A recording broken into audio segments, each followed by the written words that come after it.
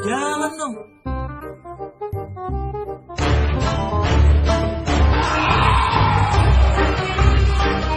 Hati-hati tanda salib. Auto murtad masuk neraka tingkat basement. Mau kasih lihat Anda loh. Ini resmi yang keluar dari kantor staf presiden. Ya, coba lihat kalau dia dalam bentuk horizon seperti ini.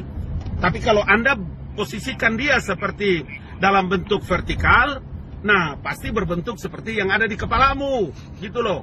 Jangan begitu. Kita punya suasana ini dalam suasana pandemi, jangan sampai menurunkan imunitas kita. Ya, semangat kebersamaan harus dibangun.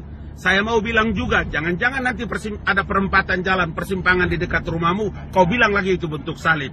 Jangan kau jalanlah di atas salib itu, karena dia berbentuk eh, jalan itu, karena dia berbentuk salib. Oke, okay, itu saja deh. Saya ingin perlu klarifikasi supaya jangan sampai ada yang punya salah sangka terhadap logo uh, Indonesia Merdeka 17 Agustus 2020.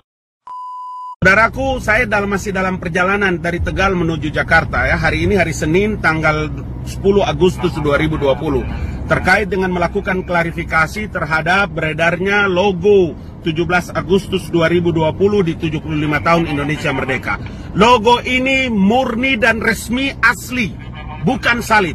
Ini adalah sebuah karya seni yang dibuat dan dilakukan oleh teman-teman anak-anak Indonesia yang memiliki kemampuan karya seni yang luar biasa.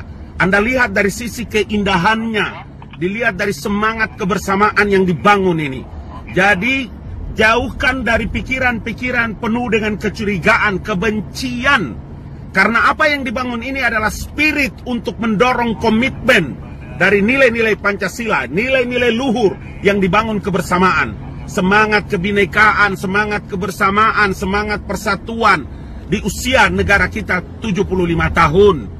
Jadi semua diksi dan narasi yang menyesatkan umat dan rakyat itu tidak boleh lagi beredar di mana-mana. Saya perlu melakukan klarifikasi ini supaya tidak boleh lagi ada yang memberikan uh, satu nilai tersendiri atau pengertian bahwa logo ini berbentuk salib. Jangan mengganggu suasana batin dari saudara-saudara kita umat Nasrani. Ya, kita Katolik, Protestan, Hindu, Buddha, dan Konghucu. Kita punya negeri ini, kita hidup sama-sama. Kita harus menentang yang namanya intoleransi. Ya, dari semangat kebersamaan itu menjadi penting. Saya mau kasih lihat Anda loh, ini resmi yang keluar dari kantor staf presiden. Ya, coba lihat kalau dia dalam bentuk horizon seperti ini. Tapi kalau Anda posisikan dia seperti dalam bentuk vertikal, nah pasti berbentuk seperti yang ada di kepalamu, gitu loh. Jangan begitu.